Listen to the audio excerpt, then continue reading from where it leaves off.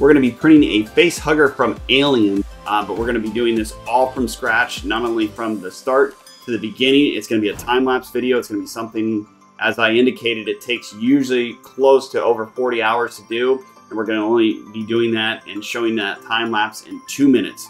So we hope you enjoy, and we'll see you at the end.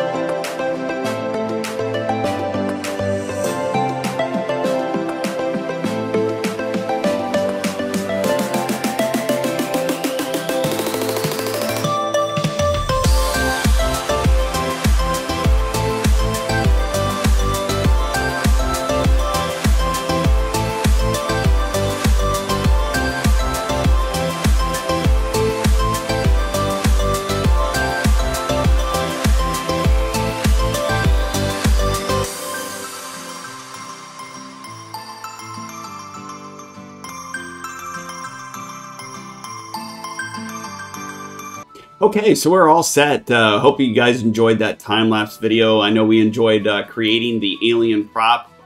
You'll see here, it, it's pretty cool. It's something to um, definitely create.